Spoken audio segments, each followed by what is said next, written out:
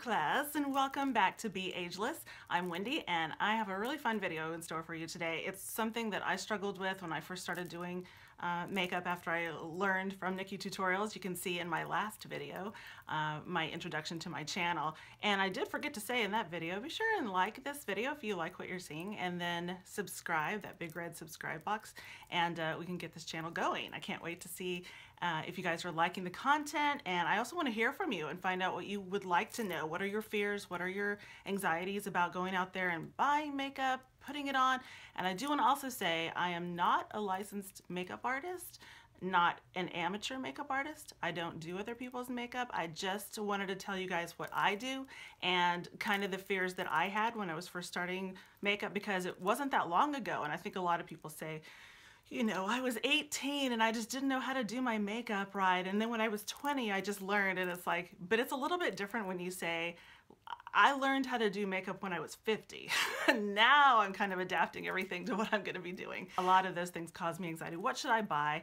Uh, what are the different brands? What are the good ones? What are the not so good ones? And I have just spent the last year and a half collecting makeup, kind of trying things out and seeing what I like, trying kind of obscure makeup companies and helping them out and kind of using my Instagram account to photograph all the makeup that I buy. Uh, so if you want to look at my video, my uh, collection of makeup, all my pictures are over on Insta. If you wanted to see just the photography part of it, um, I've been I've been a photographer almost all my life on the side, and um, I really have a passion for photography. And then when I got into makeup, I was so neat that I was able to combine my two passions. So if you want to look at those, head on over there. But for today, one of the things that really really caused me anxiety and I'm sure it did you, is that a lot of us just, you know, maybe go out to the drugstore or the grocery store and buy us one of these little things that come, you know, in just a little four set of eyeshadow, nice and non-threatening, um, probably something that matches a lot of our clothes. A lot of times we like to do that. And it comes with these little sponges and so, you know, you kind of use the sponge to, you know, wipe that on there and then you use some other side to get the other color because you don't want them to, to you know, mix. And uh, then you may use the other, like, oh, this is a little bit more pointy. So I think I'll use that to, you know, shine up the old eye bone there. And uh, so what I'm going to tell you to do is the same thing I did. And take these little sponges right here and throw them away. because I really had to learn to do that. And the brushes were so intimidating when I first started getting them, but now I cannot imagine using those little sponges ever again, except for, you know, other little projects and maybe some Pinterest crafts, things like that. Um, but I don't use them for eyeshadow anymore. Base, and these are just my favorites. I'm sure if you go and watch all the other beautiful, wonderful YouTube makeup artist videos out there, that they will show you their favorites and how to use those. They're all, in fact, all the tutorials that I watched um, from the younger girls are really, really helpful. They never seem to talk down to anyone. They always include everybody and really explain what they're doing. They're really, really good teachers and take it from someone who used to be a teacher. but I really, really appreciated that because I never felt like they were talking down to me or, you know, trying to use a lot of jargon that I couldn't understand so I wouldn't be a part of that world, things like that. I always felt really, really included. And that was really helpful and gave me a lot of confidence and bravery to go and buy brushes. Over time, I have found that my favorite brand of brush, and you know, especially when you're first starting out and you want a nice you know, inexpensive brush, but good quality is Morphe. And I just, I have, I may have every brush that Morphe has made. And recently they opened up a store um, in California and I wish I didn't live in Texas. I wish I lived way out in California uh, so that I could go to that store. Uh, but uh, I am excited to visit it one day. But in the meantime, I can go online and just buy these brushes and their brushes are so good and so affordable. And there's so many of them. And if you go on Morphe Brushes um, website, you will probably be overwhelmed as well uh, because there's so many and you're not sure what you're looking for and you're not sure if the size looks right on the website. And so let me just take you through and tell you kind of what I use and what I use them for. First of all, let's look, excuse me. That's one of the things about getting older. And I have a new segment I want to go ahead and introduce on my channel. It's called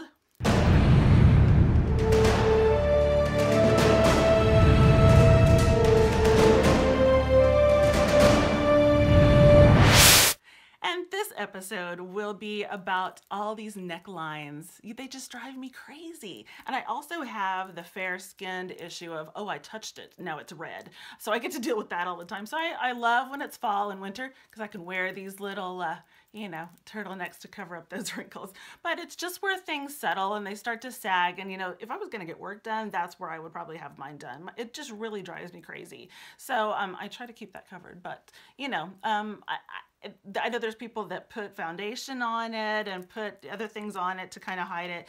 And to me, it just highlights the wrinkles even more. So I haven't done anything about that. I try to cover it all up. We'll carry. According to Livestrong.com, your neck is one of the first signs of aging, and most sun exposed parts of the body with thinner skin than the face, and therefore especially vulnerable to problems like wrinkling and sagging from UV exposure and aging. Treat your neck just as you would your face and help improve the appearance and condition of your skin, reducing wrinkles and making you look and feel younger. Does your neck look like this?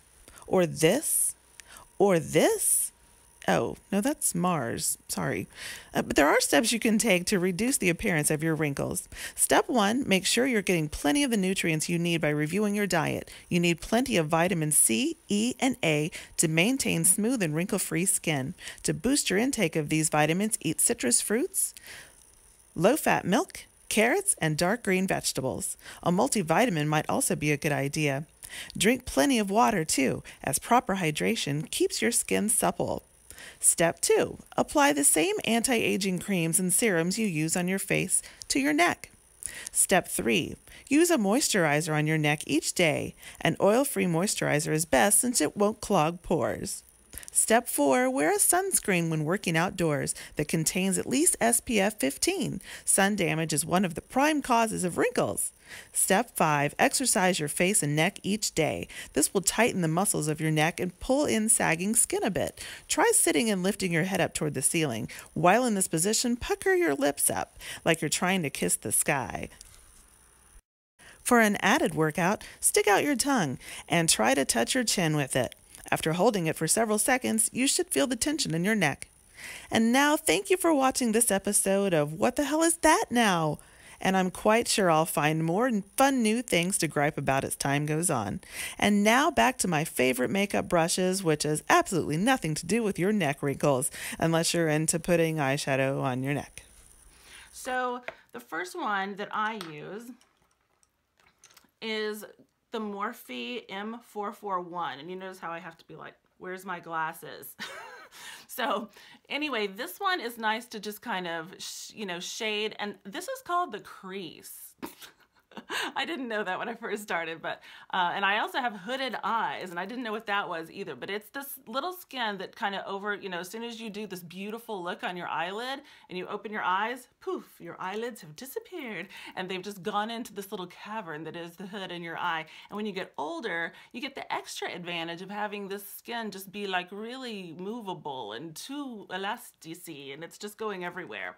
So these brushes really help you um, kind of pinpoint where you want that shadow to go. So I really love this one for uh, putting a, a, base color here in the crease. Um, and you can watch, you know, way better people do it way better than me on YouTube, but that's one that I like for that. And then to blend it all out, I like the Morphe M330, and this is where you can just kind of blend all the lines so that you don't have a line there. And so, you know, it just doesn't look like you drew it on. And then the next one that I like is the Morphe M408, 6, 8, it's 8. See, I don't have my glasses on. And so this one is for shading under your eye like that and you can smudge it out and kind of make it thicker and smokier if you want. It just gives you a lot more control instead of having that line and I almost I almost don't even wear eyeliner anymore because this is such a nice little trick and of course for aging eyes uh, you don't want to have like you know a bunch of big lines and sometimes you know some people might feel silly having that big drawn out cat line although if you do pull your eyeshadow up and your eyeliner up like this the more up you pull it uh, the more your eye you know doesn't sag because it's already kind of sagging because, you know, age.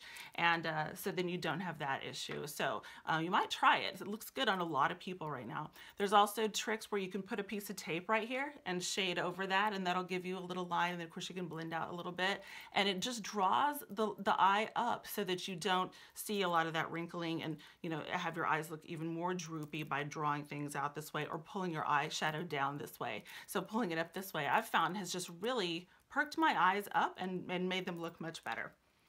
So there's that. And then the next brush that I really like is the M167. And I'll show you all these in just a second.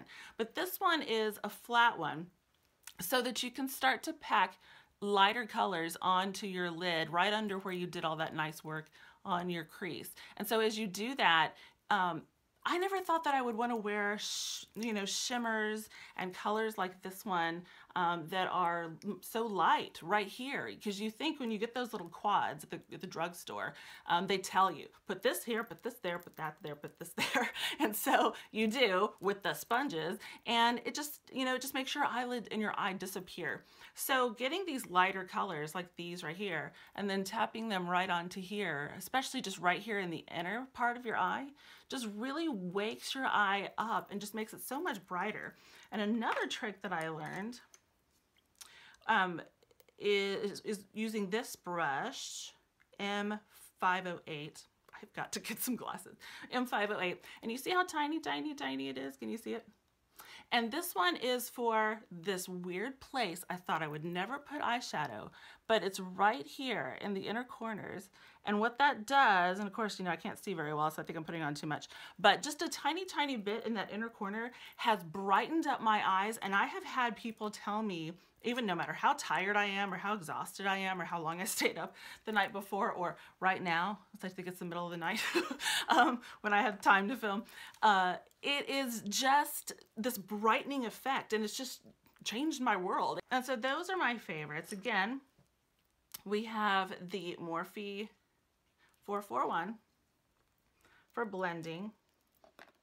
And then to blend it out further, the M330. And then to pack on the lid, there's the M167. And then the under your eye down here, whatever that's called, the M408. And you see how it's flat.